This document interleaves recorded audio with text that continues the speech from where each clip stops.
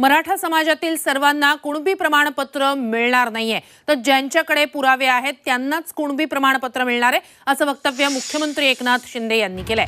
सर्वांना कुणबी प्रमाणपत्र मिळणार ही अफवा आहे. याबाबत ओबीसी नेत्यांचा संभ्रम दूर केलाय असं मुख्यमंत्र्यांनी सांगितलंय.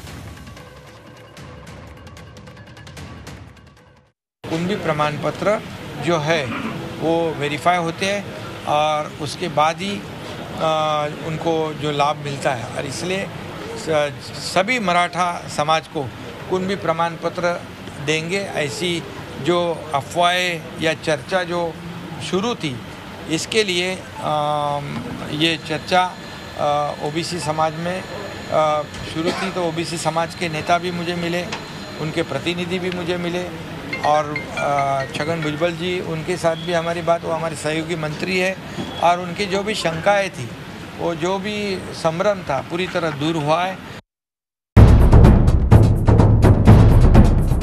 सह्याद्रीची उंची म्हणजे